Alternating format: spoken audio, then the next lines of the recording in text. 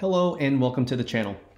In today's video, I'm going to cover how to download apps using Apple Business Manager and Mosyle to your end devices. In this particular case, it's going to be an iPhone. Now, in this video, I'm going to assume that you already have your Apple Business Manager set up and you already have Mosyle set up. Now, if you don't have Mosyle set up yet, I would suggest reaching out to their technical support team. They did an awesome job of walking me through step by step and getting it integrated with uh, Apple Business Manager. So assuming that we have that all set up, the first thing we're gonna do is let me unlock this phone here. And in this particular phone, let's just say I wanna add YouTube. So what we're gonna do is head over to your Apple Business Manager. We're gonna click on apps. And then in the top here, uh, once it pops up, let's just say we wanna add YouTube. So let's click on YouTube here. It'll pop up. Now, with all devices, with all even the free apps, you still have to purchase licenses. So you choose your location that you want to send this to. You just type in how many licenses you want to purchase. Again, most of these licenses for most of these apps are free. And then you just hit get.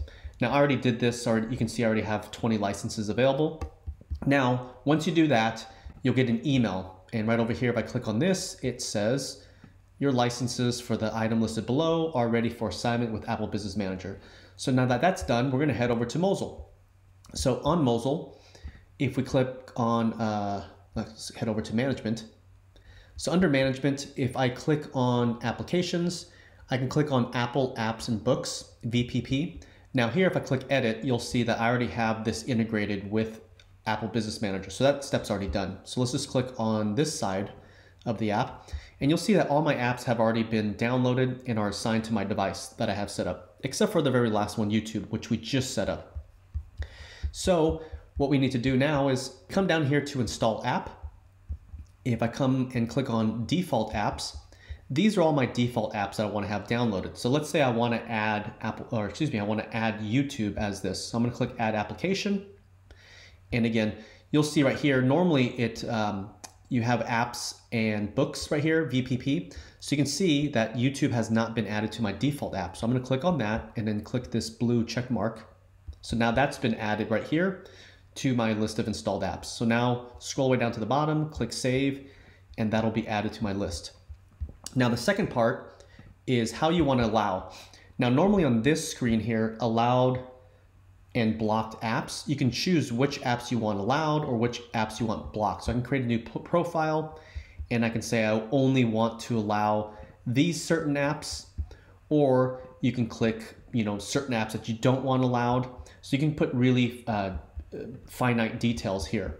Now, I'm not going to use this screen because I'm using the home layout screen. So the next uh, tab here is home layout. This is actually if you want to organize the device for them. So for a lot of our employees, we want to take the guesswork out for them. And so if I click this, um, you'll see the iPad here. Now I'm going to click up here. It says iOS 12.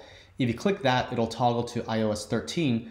And uh, the reason why I like this view is because all the iPhones only have four, uh, four apps that can fit the width of the screen rather than you know, what is that, six apps. So I'm gonna use this view. So let's just say I wanted to add YouTube right there. So this is, it defaults to, to native apps right here. So you can see all the native apps, which we don't need those um, in our case. So I'm gonna click on the apps and books VPP. And as you can see, there's my YouTube app. So I'm gonna drag this down here and let's just say I want it right there. So once I do that, I can scroll down here and click save.